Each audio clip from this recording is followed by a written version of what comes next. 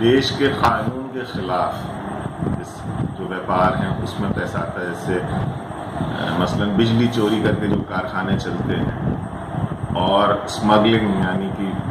हमारे पड़ोसी एक देश है नेपाल जहाँ से अक्सर पहले कुछ कपड़े और इलेक्ट्रॉनिक सामान आके बिकते थे यहाँ के बाज़ारों में यूपी और बिहार जो बॉर्डर एरिया है तो उस कारोबार का भी पैसा मस्जिद के पैसे में मस्जिद के काम में नहीं इस्तेमाल हो सकता